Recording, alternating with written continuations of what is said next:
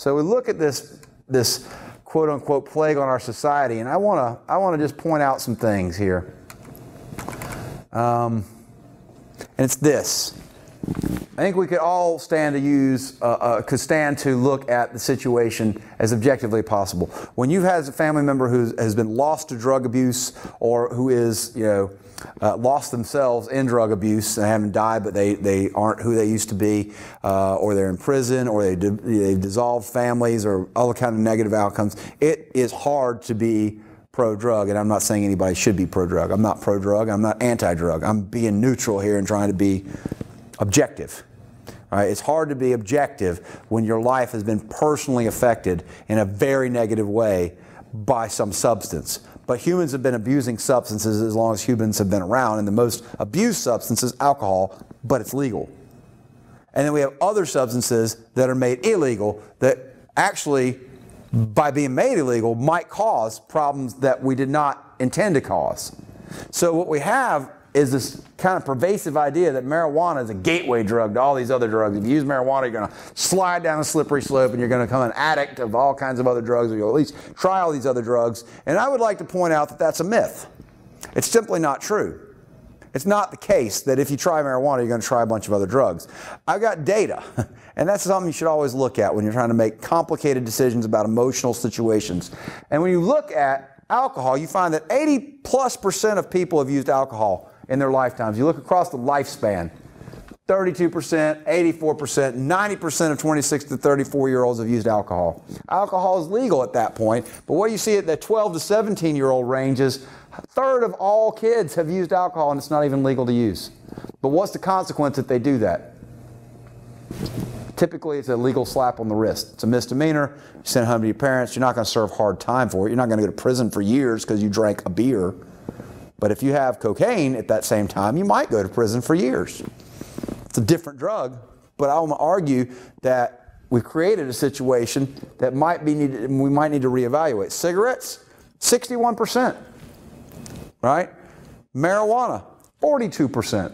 Much less than alcohol, much less than cigarettes. Interesting, we don't call alcohol a gateway drug because it seems to, no, it doesn't lead to anything like that. Now, one way that marijuana might be conceived of as an alcohol, as a uh, uh, gateway drug is that it's illegal in most places now, still. And if you use it, you're likely to encounter people who are drug dealers because it's on the black market. And by being on the black market, it's going to put you in contact with people who deal in other illegal substances, so you might be more likely to come in contact with it. It's very easy underage and other circumstances to get alcohol. We don't seem to have a problem with that. But with marijuana, it's illegal, and thus you might come into contact. But it doesn't look like you're more likely to use, because if you look down here at cocaine, lifetime, it's 15%. 15% seems to be the peak for every other kind of drug that there is. Crack, 3.5%. Hallucinogens, 15%. Heroin, 2%. Inhalants, 8%. Pain relievers, that would be your Oxycontins and other kind of things, 15%. Sedatives, 3%. Stimulants, 7.4%, and that includes meth. So if it was a gateway, you would see that damn near 42% of people would be using it, but they don't. But down here, these things which are illegal and this which is legal creates a black market trade, which then the tools of all black market trades would be things like guns. Violent crime comes about. If you have an addiction that you can't afford to feed, if you have a cocaine addiction, and I've known a lot of cocaine users in my life,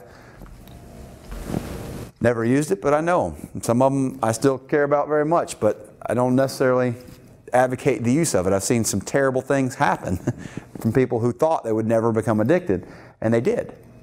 But here's the thing to have this, you could lose your life in terms of going to prison.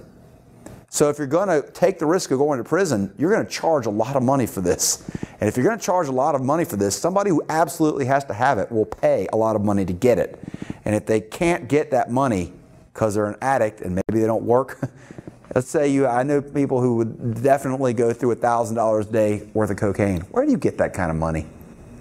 You have to engage in illegal activity. You either have to sell it, in which part you become part of the black market, or you have to rob other people. You have to steal it. It causes you to engage in behaviors which are illegal.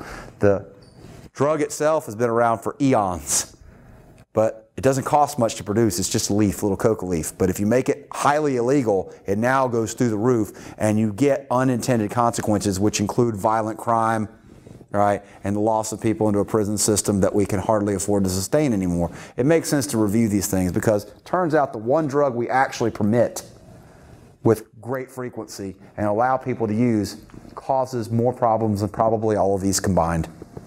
And that's a hard pill to swallow.